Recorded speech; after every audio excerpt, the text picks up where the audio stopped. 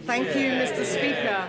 Since the outbreak of war in Gaza, over 23 1,000 Palestinians have been killed, including 10,000 children, and forced displacement is causing a humanitarian catastrophe. There's intensifying fighting between Hezbollah and Israel, a crisis in shipping security in the Red Sea, and engulfing and the engulfing of neighboring countries into a regional conflict. De-escalation will only occur when hostilities cease in Gaza. The Foreign Secretary yesterday said he was worried Israel may have broken international law, and the International Court of Justice is opening hearings in The Hague this week in relation to suspected breaches of obligations under the Geneva Convention.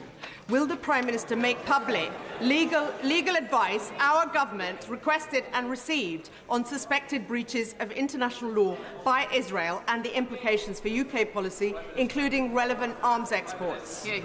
Well, Mr. Mr. Speaker, we continue to call for international humanitarian, international humanitarian law to be respected and civilians to be protected, and that is what our current legal assessments say is happening. And as the Foreign Secretary outlined yesterday, that Israel plans to act within international humanitarian law and has the ability to do so. But we are also deeply concerned about the impact on civilian population in Gaza. That's why we've trebled the amount of aid that we provide to the region. And just uh, recently, we sent our first maritime shipment of aid to Egypt. A UK military ship delivered over 80 tons of new blankets and life saving medical equipment for Gaza. And we are working with Jordan to find more land routes. We will continue to do everything we can to support the vulnerable people who are being impacted by what's happening on the ground.